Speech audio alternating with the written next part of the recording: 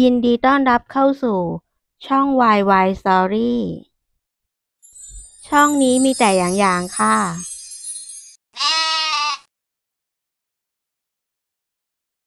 สวัสดีค่ะคุณผู้ชม วิดีโอนี้จะมาเล่าเรื่อง บันทึกชีวิตประจำวันของอย่างอย่างบทที่ 4 ค่ะ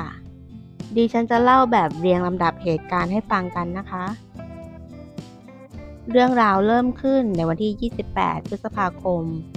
2024 ค่ะ ช่วงเช้าของวันนั้น เขาไปปรากฏตัวในงานเปิดร้านเรือธงของ Honor Mobile Phone ที่เมืองเฉิงตูนะคะ เขาเลิกงานประมาณ 10 นาฬิกาค่ะ หลังจากนั้นในช่วงบ่าย มีคนโพสต์บนเว็บปอว่า ได้พบอย่างอย่างโดยบังเอิญ แคปชั่นในวันนั้นเขียนอธิบายว่า มีชาวเน็ตพบเขาที่ฟาร์มสัตว์แห่งหนึ่ง บนเกาะลุก เกาะเล็กๆ ในเมืองเฉิงตูค่ะ เราจะเห็นว่าเขาใส่เสื้อสีน้ำตาล และกางเกงยีนส์นะคะ นี่ก็คือ location ที่เขาใช้ถ่ายภาพนิ่งและคลิปวิดีโอ เก็บเอาไว้ค่ะ มันคือจุดเริ่มต้นของบันทึกประจำวันบทที่ 4 ในวันนี้ค่ะ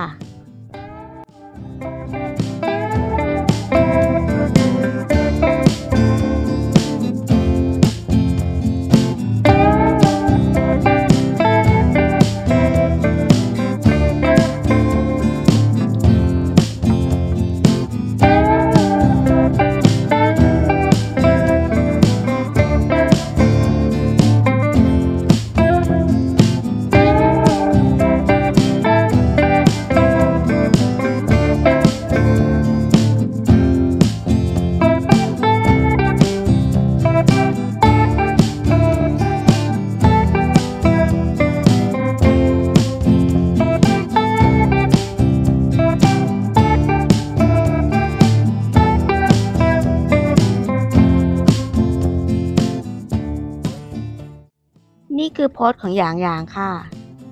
เขาอัปเดตเวยป๋อเมื่อวันที่ 15 กรกฎาคม 2024 ค่ะ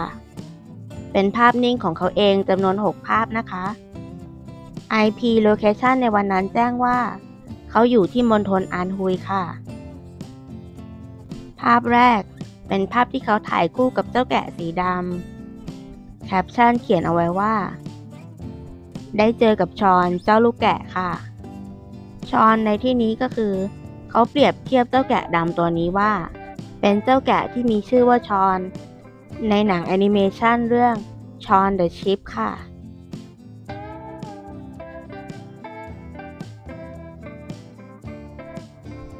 เวลาผ่านไปประมาณ 20 นาที อย่างอย่างสตูดิโอ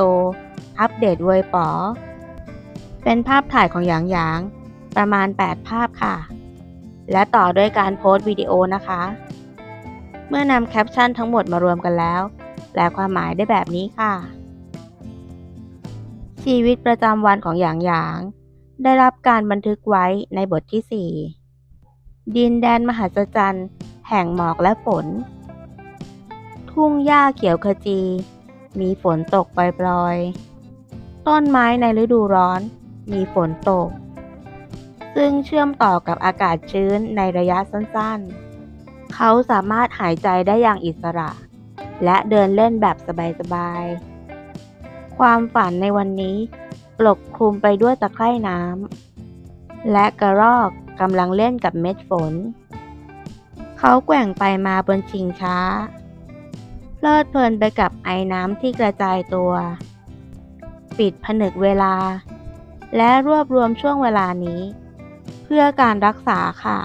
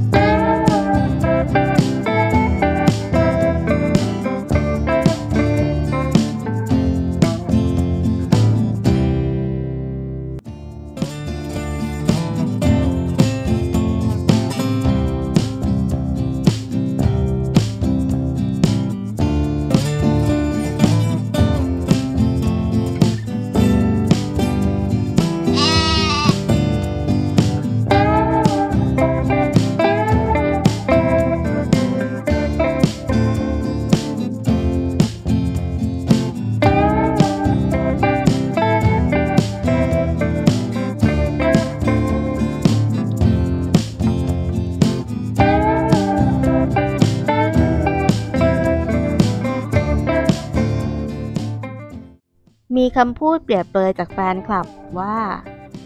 เมื่อหยางหยางมาอัปเดตเวยปอ หรือโตยิน ก็เหมือนกับว่า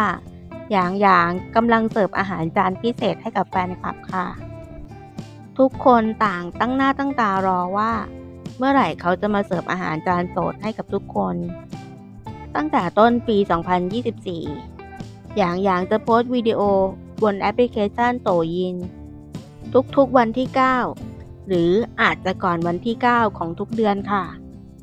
แฟนคลับทุกคนก็เลยตั้งหน้าตั้งตารอว่า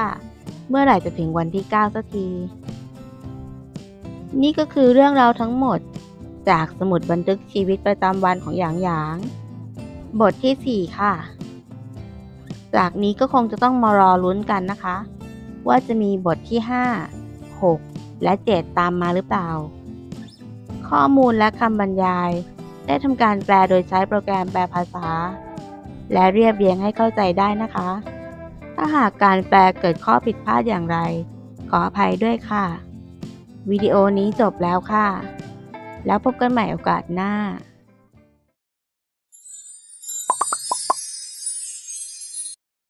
อย่าลืมกดไลค์ Subscribe และอย่าลืมกดกระดิ่งด้วยนะคะ จะได้ไม่พลาดวิดีโอใหม่ ๆ จากช่อง YY Story ค่ะ ขอบคุณนะคะ บ๊ายบาย